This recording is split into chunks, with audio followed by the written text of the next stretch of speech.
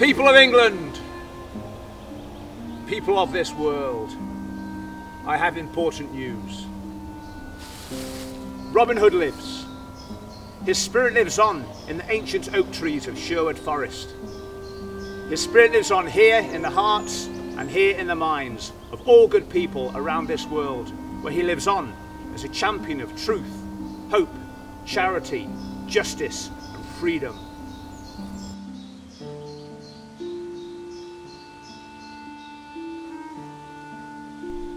Welcome. I am Ade Andrews, otherwise known as Ezekial Bone, and I am the real Robin Hood for the 21st century. I run the Robin Hood Town Tour, Nottingham's multi award winning tourist attraction. Robin Hood lives. Well, uh, let's state the obvious. Nottingham has failed to realise the gift of a character that is Robin Hood, and for decades they've missed this opportunity.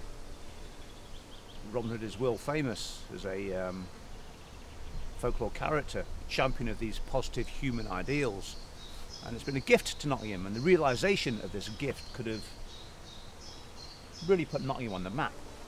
But the failure to do this has meant that Robin Hood, this famous son of Nottingham, this uh, hero of England, this symbol of England, born of Nottingham, has been relegated to becoming a cartoon character almost.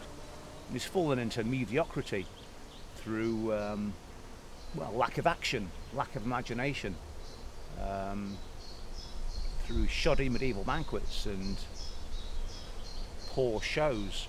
There are a few good sort of Robin Hood events like the pageant at the castle and the festival in the forest but apart from these and the statue, there's little here. And that is why I came up with the Robin Hood Town Tour to rescue Robin Hood from this mediocrity and put him on the pedestal he deserves. And through the tour, we uh, explore the evolution of the legend and what the legend means today. And that is key, the interpretation of Robin Hood for the 21st century. And that is what I am pursuing through my work as Robin Hood.